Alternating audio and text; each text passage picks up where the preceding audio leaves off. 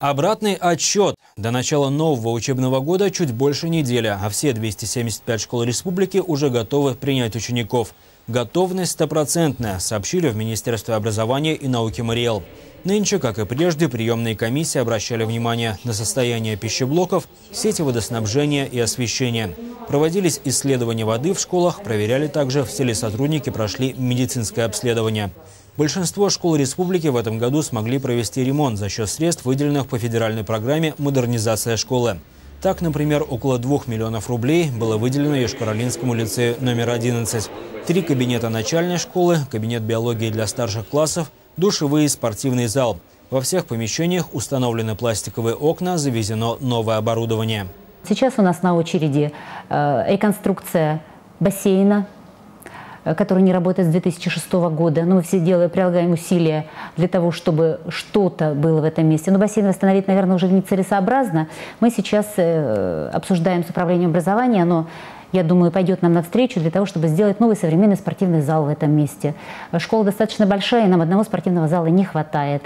В этом году мы еще подготовили хореографический зал, как раз вот для третьего часа физкультуры, потому что мы не умещаемся в один спортивный зал.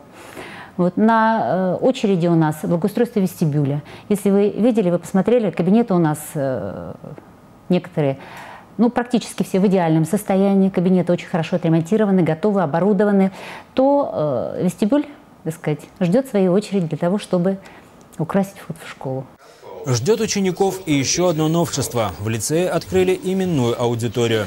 Один из кабинетов теперь носит имя доктора физико-математических наук Михаила Николаева. Многие годы он преподавал в вузах республики и посвятил всю свою жизнь математике. Школьный кабинет был не просто отремонтирован, в нем также появилось новое оборудование – электронная доска, проектор, компьютер. Все затраты по благоустройству аудитории взял на себя лицей, помогли и родители учеников. Мы учителя математики, школьные педагоги, а он именно вузовский преподаватель, который на протяжении стольких лет помогал нам не только ученикам, но и помогал учителям и преподавателям справиться с некоторыми сложными задачами своей профессии. Мы хотим в дальнейшем и оформить, может быть, на четвертом этаже как аллею, где будет рассказано о других преподавателях вузов, которые с нами сотрудничают, и о педагогах нашего лицея, которые много-много лет посвятили ему свою работу. К слову, всего в Мариэл в этом году за парты сядут более 7 тысяч первоклашек. Это примерно столько же, что и годом ранее.